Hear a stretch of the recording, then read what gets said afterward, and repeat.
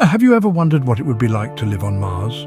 Picture it, a world roughly half the size of Earth, located an average of 140 million miles away from our blue home.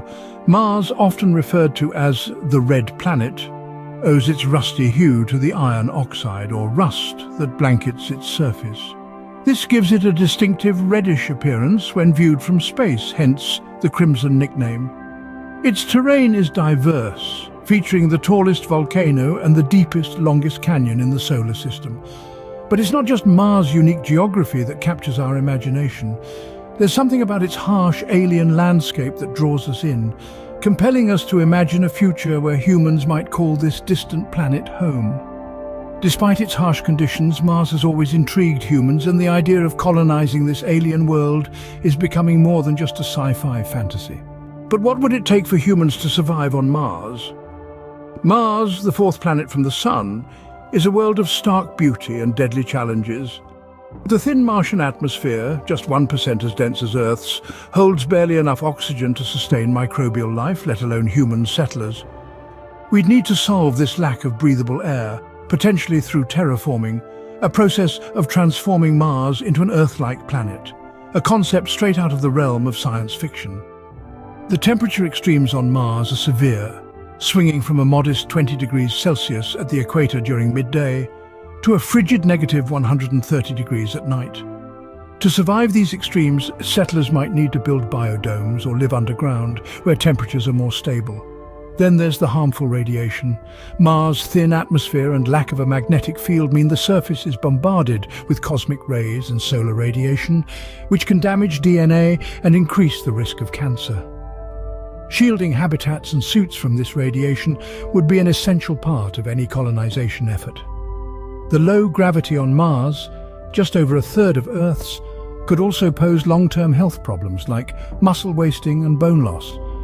We might need to develop artificial gravity technologies or adapt our bodies in ways we are yet to fully understand.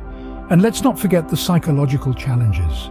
Living in isolation, far from home, in confined spaces, with the same group of people could take a toll on mental health. The importance of psychological screenings, support, and potentially even the use of virtual reality for mental escapes cannot be understated. These challenges are formidable, it's true. The harsh conditions, the vast distance from Earth, the technological hurdles, they're all daunting but they are not insurmountable. We've overcome incredible challenges before, from landing on the moon to developing vaccines for deadly diseases. Facing the challenges of Mars colonization tests the very limits of human ingenuity and resilience.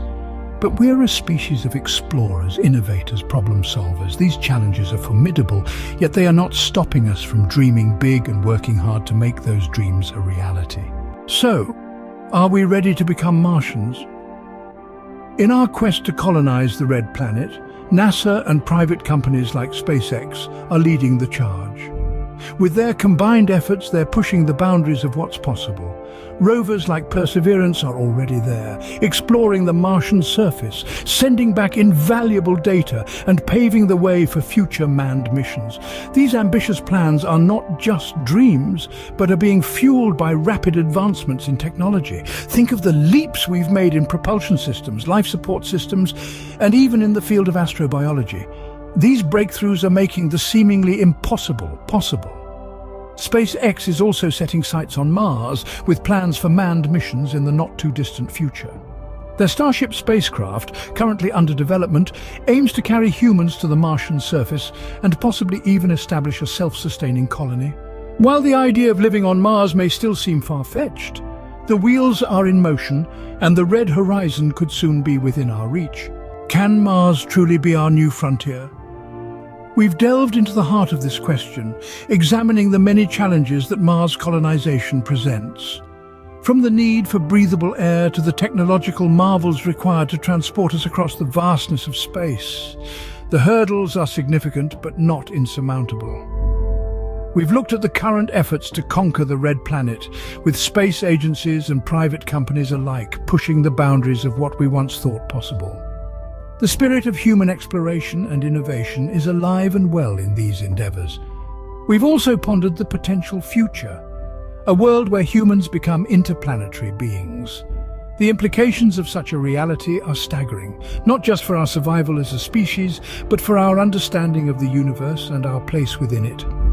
Whether we become the first Martians or remain earthbound, one thing is certain, the red horizon beckons and humanity is eager to answer the call.